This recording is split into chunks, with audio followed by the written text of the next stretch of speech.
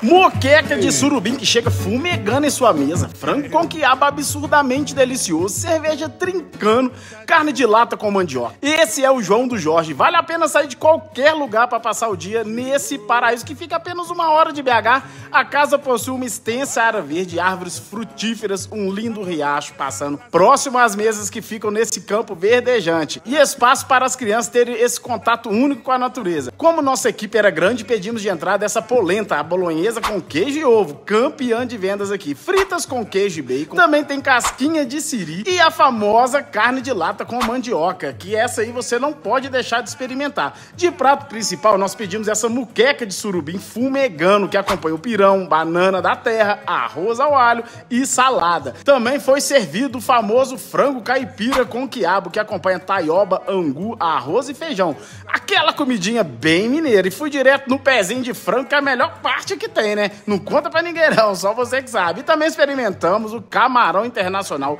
absurdamente delicioso, lotado de camarão. E enquanto eu filmava, a família Coma Bem tava lá, né, malhando pesado no levantamento de copo e garfo. E de sobremesa, fui na opção mais raiz que tem aqui, o famoso trem de Minas, que vem figo, doce de leite, queijo e goiabada, hein? A casa possui também açaí e a famosa taça da felicidade. Então, quando pensar onde sair com a família ou seu love para curtir um final de semana com muita muita fartura, comida bem mineira. Em meio à natureza, o seu lugar é aqui no João do Jorge. Agora compartilha esse vídeo com todos que vão curtir esse lugar e não esqueça de nos marcar quando você visitar o João do Jorge lá nos seus stories.